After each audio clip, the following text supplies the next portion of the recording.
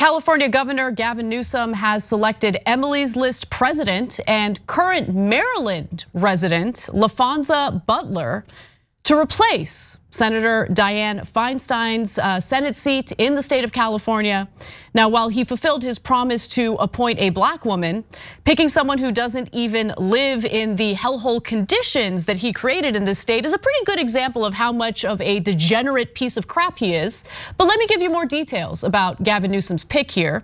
So, who is this woman? Well, Butler has never held elected office, but has a long track record uh, in California politics.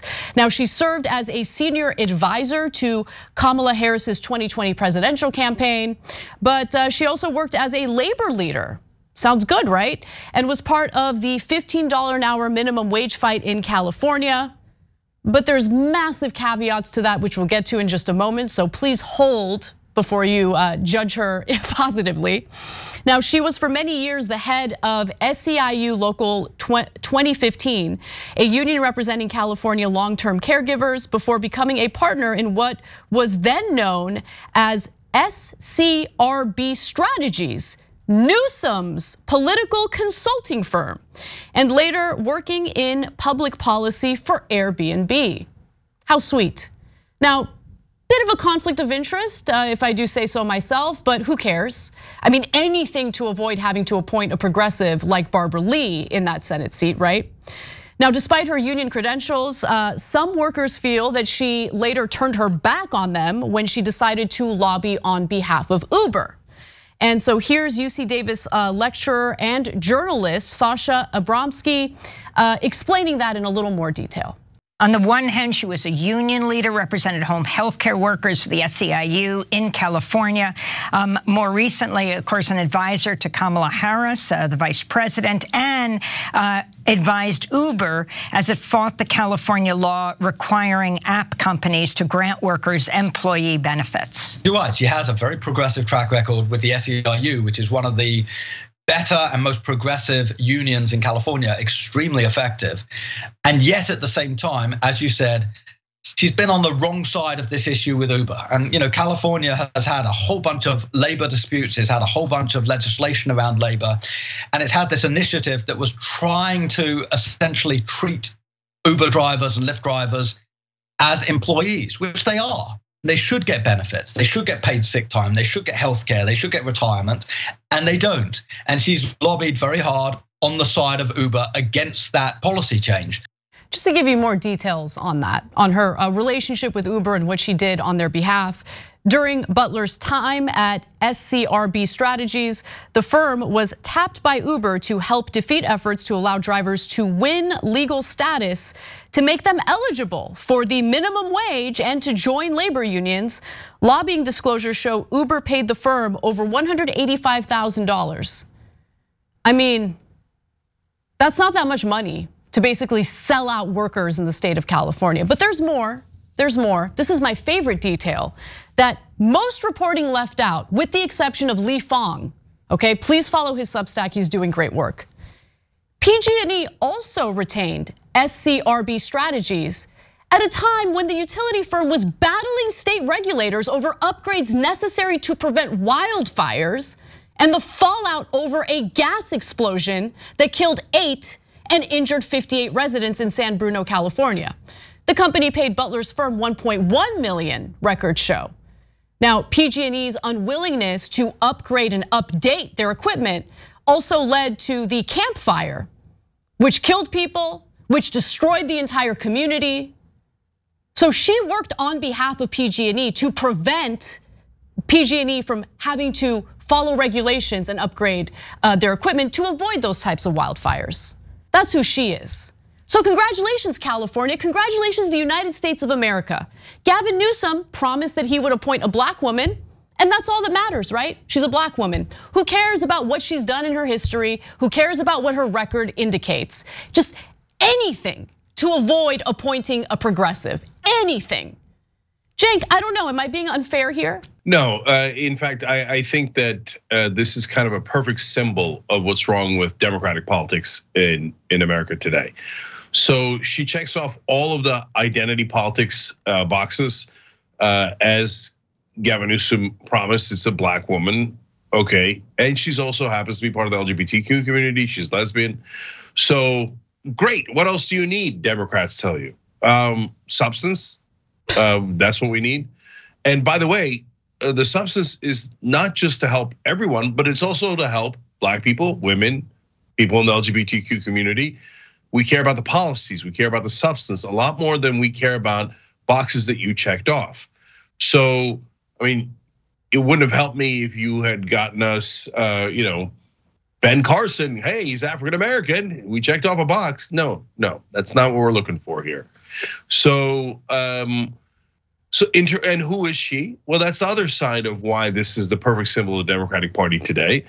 So she starts out as a progressive and in favor of labor, which is actually quite common for a lot of the Democrats.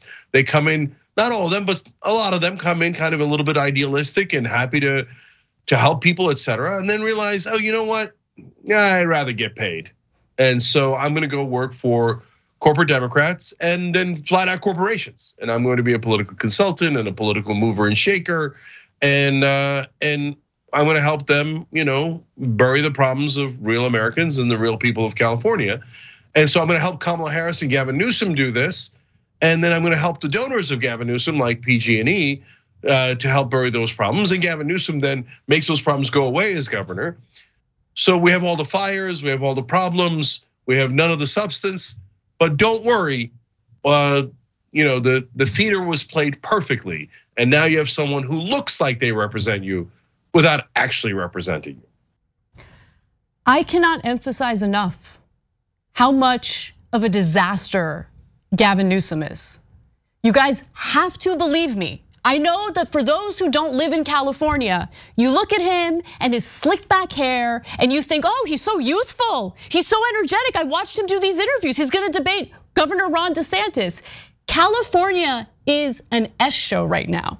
The fact that I can't curse as I talk about this story also makes my head want to explode.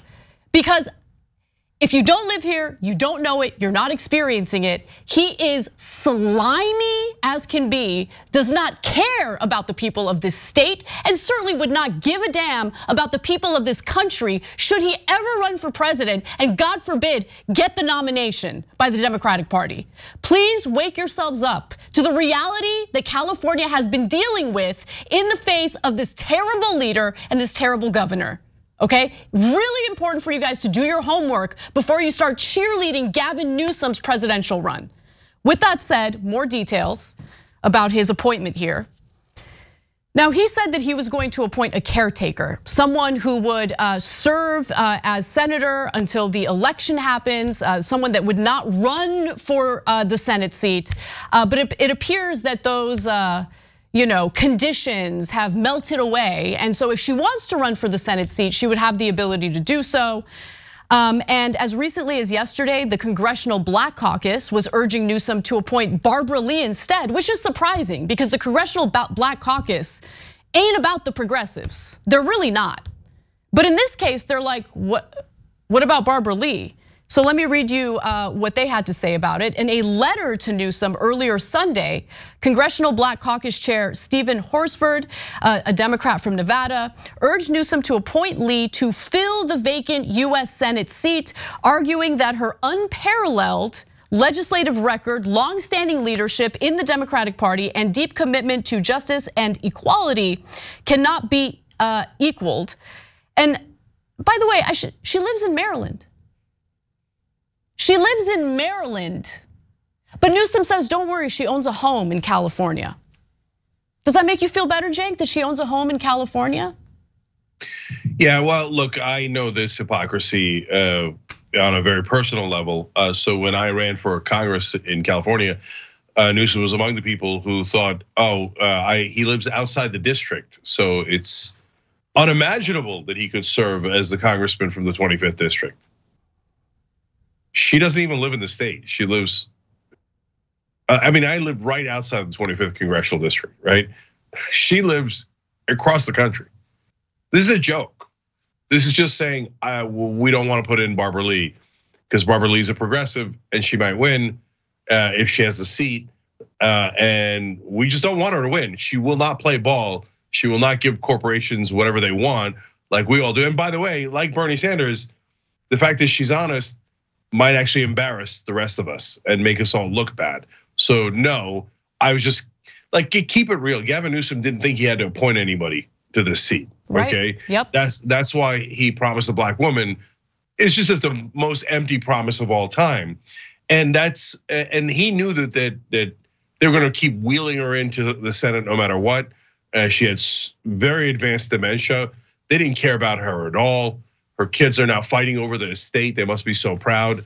Um, and they were going to wheel her in until the very last day, and they did. And they did. And they're like, oh, damn it, she died. Why? Because they care about her? If they cared about her, they wouldn't have put her in the state in the, in the first place, right? No, they cared about her because it was just a way to keep uh, a progressive out of that seat. So, look, credit to the Congressional Black Caucus. I get it. Barbara Lee is one of their own, and she's one of the longest serving members of the Congressional Black Caucus.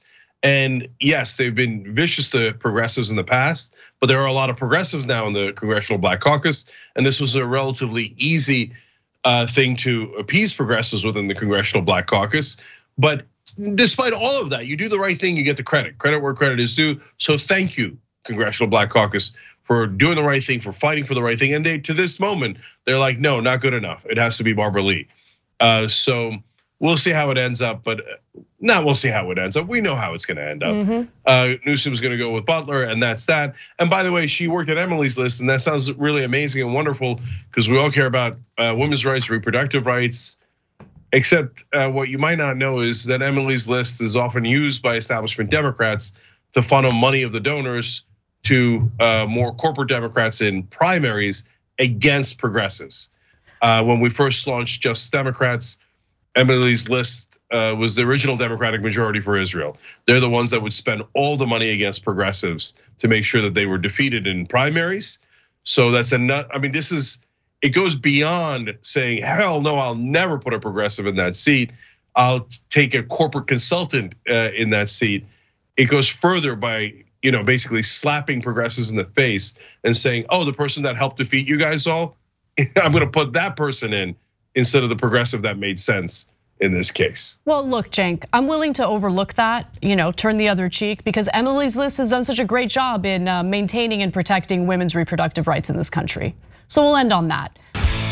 Thanks for watching the video, guys. We also love it if you hit the join button below because that makes you a member. And members allow us to be independent, honest. We can be as progressive as we want, no corporate media influence, and that's all because of you guys. We love doing the show with our members. Hit the join button, become one of the Young Turks.